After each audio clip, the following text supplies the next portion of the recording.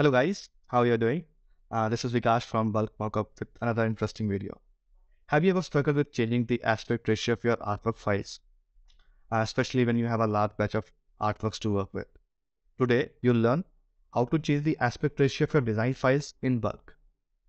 Well, changing the aspect ratio of your artwork file is pretty straightforward uh, if you do it manually one by one.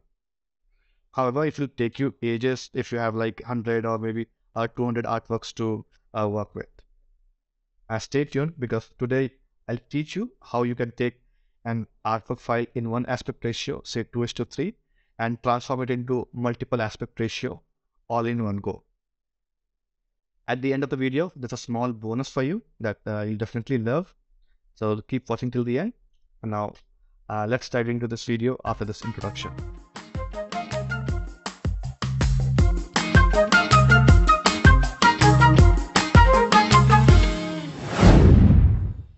So explaining the process of changing the aspect ratio will be better illustrated if I have a live example. So whatever artwork files that you have, and the first step would be uh, to separate them into portrait and landscape. So I've collected uh, consistent aspect ratio files in one folder. I have 28 of them. I'll be working only on the portrait images uh, in this example. Uh, so uh, the same process can be applied to landscape images as well. Uh, so before I you know delve further, I'd like to give a shout out to uh, Thomas Berard.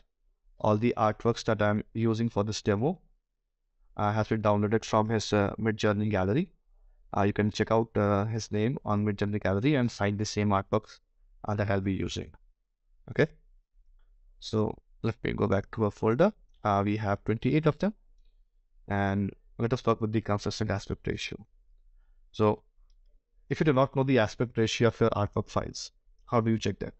So if you are very good with maths, uh, you can open this in Photoshop. So if you are good with maths, uh, go to image, uh, image size, and now you can take a ratio of uh, width to height. Uh, this is pretty uh, difficult number.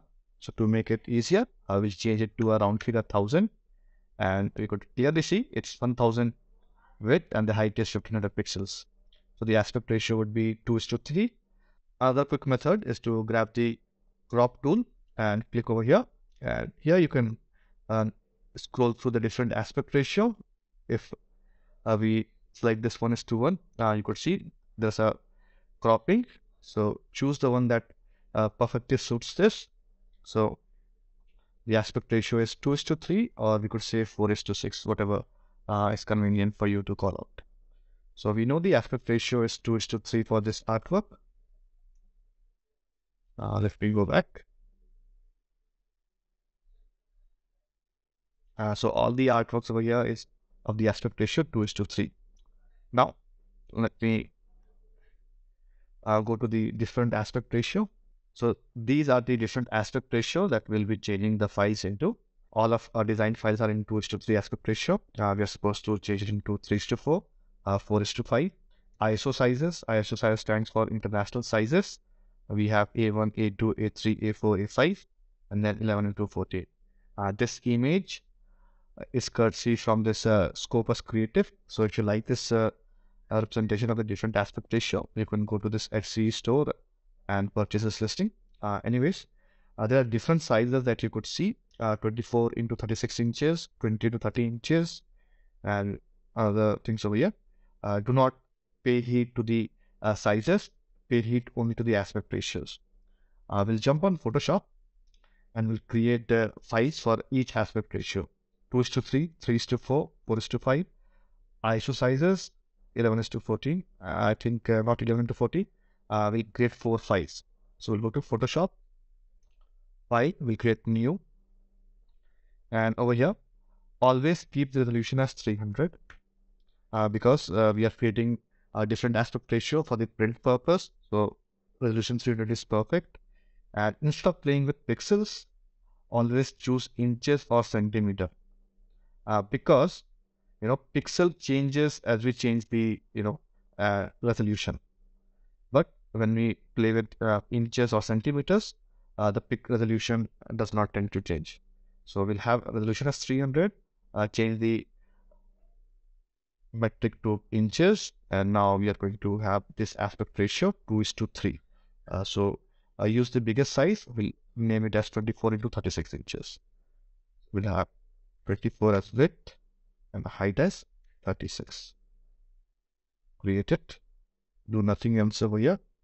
Now uh, we'll select the other one aspect ratio 3 is to 4 by uh, now before we go that uh, before we create the new one let me save it as save a copy. I'll create a new folder here.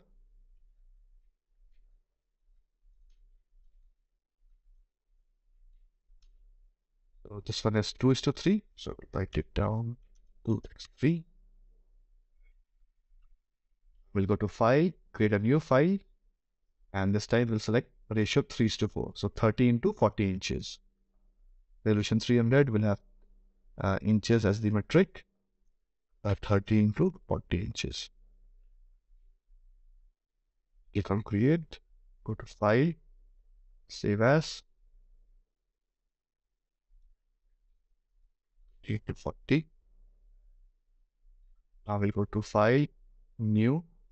The third option we have 4 is to 5 uh, 24 into 30 aspect ratio 4 is to 5 24 into 30 inches 24 into 30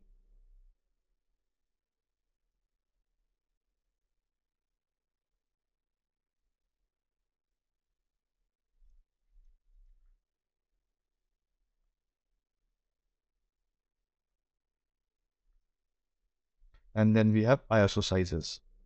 So ISO sizes, uh, we'll take this A1. I think uh, we might have some presets in Photoshop.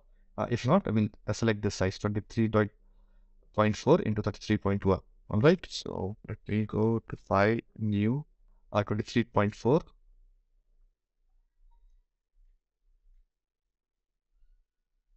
That's the 3.1.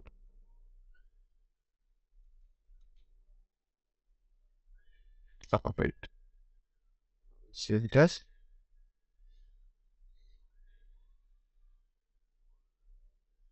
ISO.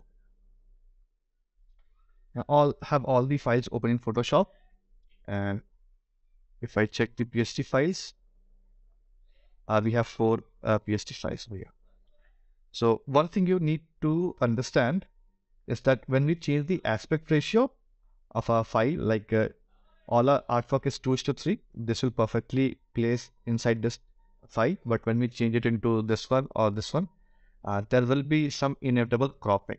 So there are three ways to deal with this issue. Uh, the first method is uh, let me grab this design and place it on 2 to 3 so this is 2 to 3 artwork. Uh, when we enlarge this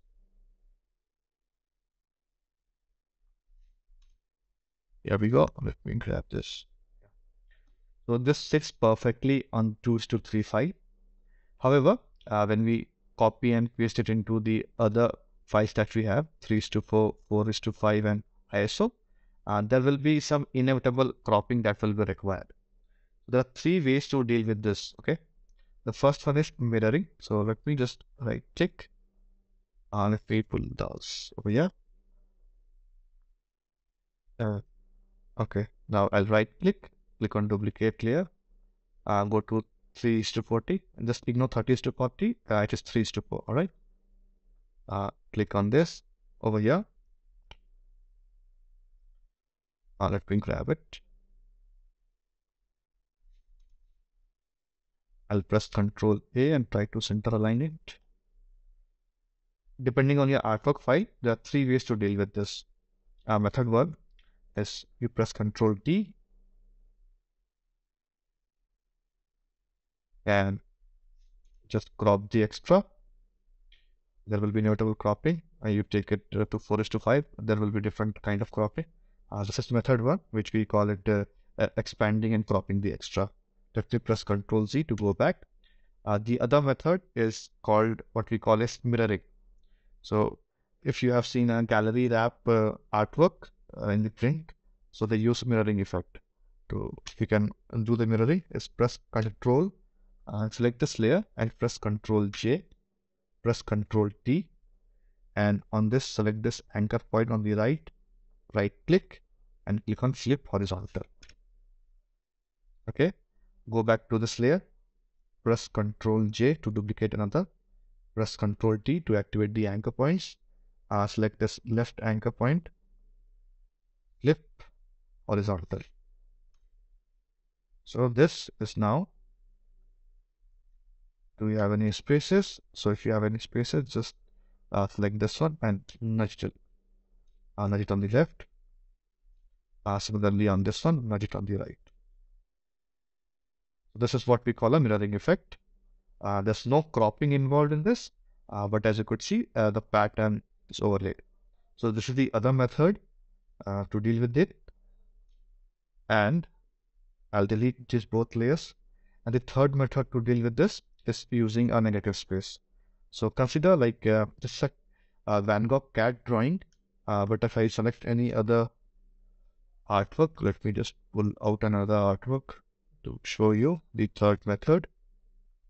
Uh, so maybe consider uh, this as an artwork. In this case uh, there is some invisible cropping on the top and the bottom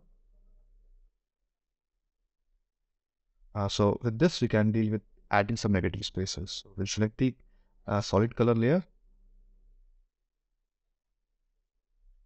Pick up any color. Pull it at the bottom. And then double click and select this layer. So this could be other way of dealing with this you know unit negative spaces. Uh, coming back for example, I will be using mirroring as well as, uh, you know, cropping the extra. Uh, what do you say? So what we can do, uh, we have four files, 2 is to 3, 3 is to 4, 4 is to 5 and ISO. I will grab any of the artwork file. Does not uh, matter which one you want to grab. Grab it and place it.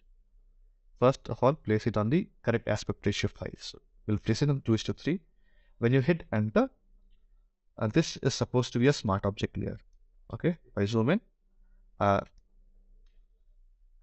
this is supposed to be a smart object layer uh, if you place your design file and it is not a smart object layer uh, you right click and change it to a smart object layer convert it to smart object option you'll have so you need to convert it to a smart object next press ctrl t and expand it to fit the entire region. Check if every border is there. Control A to select all and then you may want to center it. Okay. Now the work for this one is complete. We'll go to File and save it. Now right click on this one, go to duplicate layer and duplicate it into the other files that you have we have 3 to 4 duplicate it, right click and duplicate layer uh, 4 is to 5 right click duplicate layer ISO once done we'll close this. Now we have it on the ISO press ctrl T and you can see uh, there is an extra cropping. So go back and pull it so that it fits the region. Control A center align. Now there are two methods, like I mentioned for this case. Uh, one is mirroring and the other one is uh, cropping the extra. So first, uh, we'll try to crop the extra, press Ctrl A and then press these two options to center align. We'll save it as save a copy and we'll name it ISO crop extra.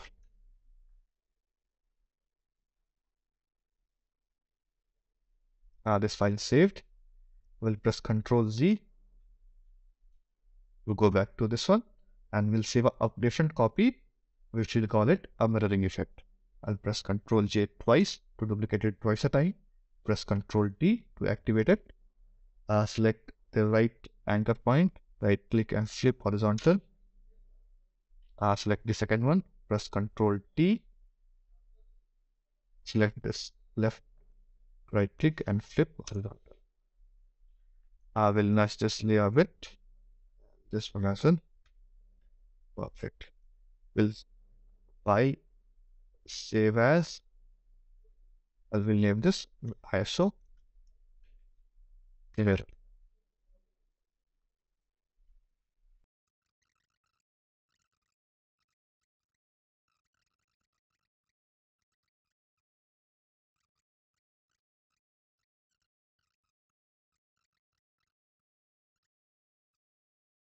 Now it shows this.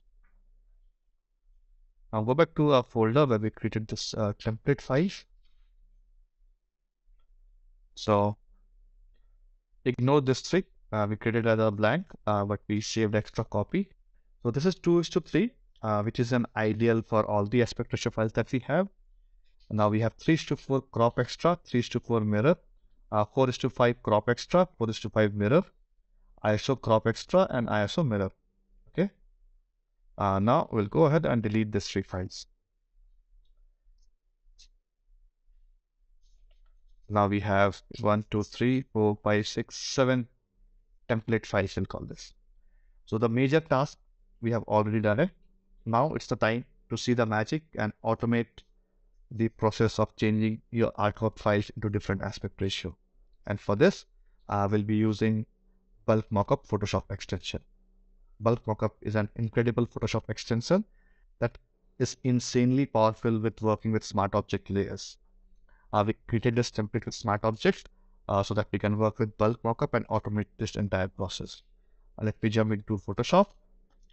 To bring out the plugin, we'll go to bulk plugins and bulk mockup. Uh, so this is a pretty interface. It looks very simple, uh, but do not go with the uh, simplicity. It's insanely powerful. The first is PSD template folder. So what we did earlier, uh, we created a PSD template folder, as you could see. Uh, I'll go ahead and select the folder, which are PSD art. We'll go ahead and select the folder with the PSD files that we just created, different aspect ratio files, right? Uh, design file folders. So these are our consistent aspect ratio files. We have 28 of them. We'll select this. Now export folder.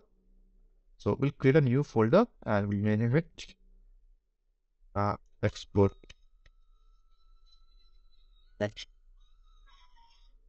And click on create and click on open. Now, uh, coming back to this uh, resize methods. Uh, so we have different resize method and uh, uh, what we'll choose is fit to canvas without cropping. Okay. Uh, so basically what this will do, uh, it will open the template that we just created, like we have seven templates created. It will open the templates one by one and it will replace the smart object.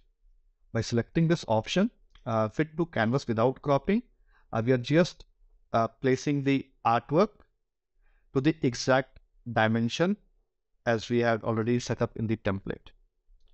Okay. Now let us go to the settings tab and over here we'll have do not scale uh, selected as center. We'll have this two unchecked. Uh, we'll go to psd template. And uh, which format do you want to save this file? We have gif png tiff psd and gif uh, you could select either of them or all of them. Uh, if i select jpg and png uh, two file format will be saved. If you select tiff the three files will be saved. So for this demo we'll only have jpg uh, we do not want to uh, resize the document. And resolution, we will have it as 300 dpi. Or we could uh, select as is because all these templates that we created with 300 dpi, uh, so the file output will be 300 dpi. Now uh, we'll go back to, we'll go to export tab. In the export tab, we have two options. The first one is export to subfolders. So we can select PSD mockup over here and what it will do, it will create a subfolder for each of the seven templates. So we had seven templates uh, corresponding to seven uh, different sizes. If I could show you, uh, we have seven files, 2 is to 3, 3 is to 4, 3 is to 4, ISO crop. So seven subfolders will be created corresponding to each of these uh, sizes and the files will be saved according to that. Or if you select design file, uh, in this case, subfolders will be created according to the design file and, it, and inside each folder all the different sizes of that artwork will be placed. So you could select either of that. Uh, I'll select PSD mockup. Okay. And then uh, we have the file option. Is the exported file name pattern. So you could see in the example, it is PSD mockup name, artwork file name and suffix. Uh, we'll select mockup. I will not name design. I will select the mockup and we could have an incremental value and we could start it with U1. Okay. So this is the settings that I'll select. So all the settings are uh, done correctly. Uh, now I can click on start generating. Uh, you'll start seeing the magic, how one input of two to three files, uh, multiple aspect ratio files will be output. However, uh, this one glitch uh, that I want to fix. if you look at the files, there are 21, 28 items and all of this being uh, large sizes, like we are resizing them into 24 into 36 inches, 30 into 40 inches. Uh, it will consume a lot of uh, resources from Photoshop. Uh, this will take a long duration of time and we want to make this tutorial quick. So I'll select only five of them. Okay. I'll remove all the other ones. So we'll only work with five of the, so we'll only work with five of the artworks. I'll remove the rest.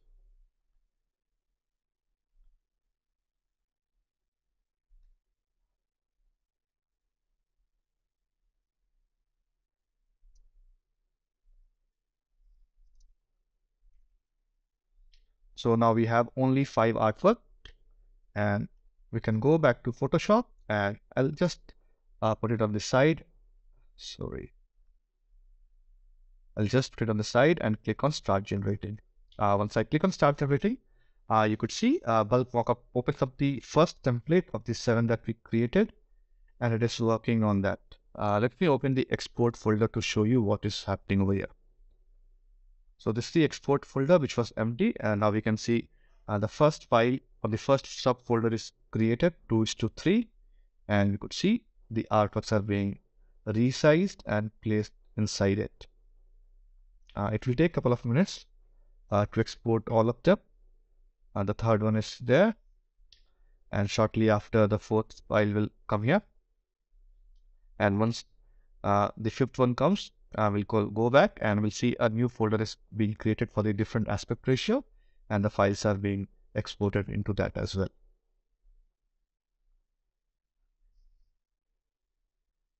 Uh, here comes the fourth one.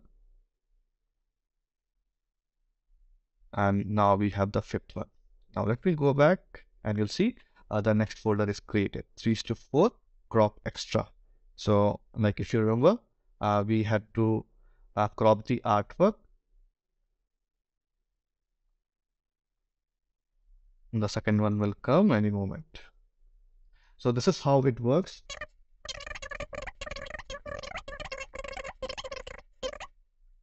Uh, it will create the third one. So likewise, uh, seven subfolders will be created. Okay.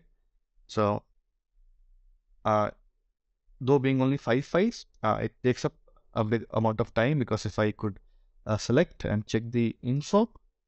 Uh, these are quite big, are 19 MBs. So that is why it is taking a lot of time.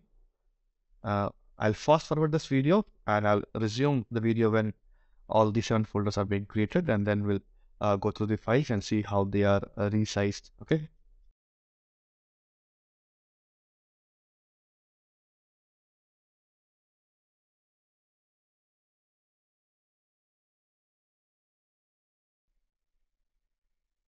All the files are exported. We have seven folders and inside seven folders, uh, we have five artworks of different aspect ratio.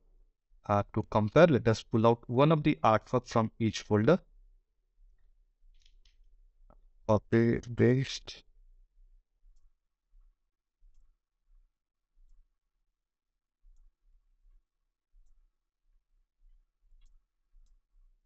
look how it is being resized. Uh, this is 2 is to 3 ratio, which is the perfect size uh, that we had artwork in. Uh, this one is 3 is to 4 crop extra, like uh, we enlarged it and there was some inevitable cropping at the top and the bottom. Uh, this one is the mirror effect. Uh, if you closely look, there's this line over here and over here we have some mirroring effect. And then this is 4 is to 5 crop extra Uh, there is 4 is to 5 mirror. And this is ISO crop extra and ISO mirroring. Isn't this amazing? Like uh, we used one aspect ratio and then uh, resized into multiple aspect ratio files. Uh, bulk mockup is incredible apart from handling uh, these use cases. There are multiple use cases where you can use uh, bulk mockup into your workflow. And this uh, for the demo, we only used five images, but if you have 100 or 200 design files, uh, this will work flawlessly as well. I promised you a bonus, so it's time for a bonus. Uh, for the bonus, let me show you. Uh, consider that your artwork file is 2 is to 3 and you do not want to change the aspect ratio, uh, but you want to resize them into different uh, sizes of the same aspect ratio. So consider your file size is 24 into 36 and you want to resize them into 20 to 30, 16 to 24, uh, 12 is to 18, 10 is to 15, 8 is to 12, 6 is to 9, and 4 is to 6 inches. So 1, 2, 3, 4, 5, 6, 7, 8 uh, files of the same aspect ratio. So to do this, uh, there's a secret script. You can find the link in the description, which is called Image Processor Pro. I did a previous video explaining how it works. You can go check that video and download the script and resize the different sizes with the same aspect ratio within one go. Uh, that is an automated solution as well. So go check that video, download the script. And if you have watched this far, uh, thank you for watching this video till the end. Uh, now if you have watched, you have come to the end of this video, uh, now I recommend you watch uh, this video, which explain how to create stunning wall art mockup for your Etsy listings.